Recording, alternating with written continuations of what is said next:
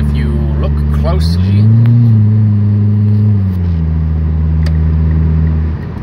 can see a bronco in the wild.